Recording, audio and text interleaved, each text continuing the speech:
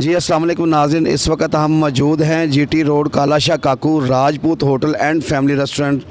आप देख रहे हैं कि यहाँ बहुत एक साफ़ सुथरा माहौल, वसी पार्किंग आपको देखने को मिलेगी। एक वसी वसी पार्किंग है। सस्ता तरीन होटल है ये और बिल्कुल साफ़ सुथरा माहौल, अच्छे जायके यहाँ मौजूद हैं। आप तशरीफ़ लाइए। जी, नाजिन, हमने आपको बताया, विज़िट करवाया मुकम्मल Rajput hotel and family restaurant का।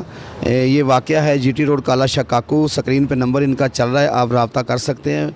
तो अब हमारे साथ मौजूद हैं राना बशारत अली ख़ान साहब।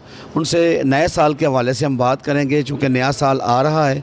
उस हवाले से वो आवाम को अपना क्या मैसेज देना चाहते हैं? जी असल साहब।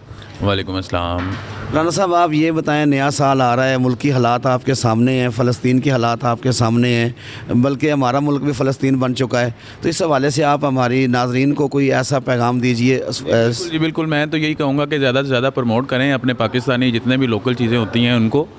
फ़लस्तीन के हिसाब से अगर देखा जाए तो ये जो चीज़ें हैं हमारे यहाँ, हम तो यही कहते हैं कि बाइकआउट करें इन चीज़ों का, जो भी यहाँ से इसराइली यहाँ पे रेस्टोरेंट्स चल रहे हैं, उनको चलें, अपने पाकिस्तानी लोकल जो है, उनको ज़्यादा सपोर्ट किया करें। आधा साल हम इन हम सब बाइकआउट करेंगे, हम भी कोशिश करते हैं और आप सबसे भी पूरी उम्मीद हूँ कि इन कोशिश करें कि ये जो इसराइल जुल्म कर रहा है, इसकी जो है वो भरपूर हम मजम्मत करेंगे। फ़लस्तीन के साथ खड़े हैं और इन जो है, बाकी उनकी जितनी भी आइटम्स हैं, सबका बाइकआउट करते हैं।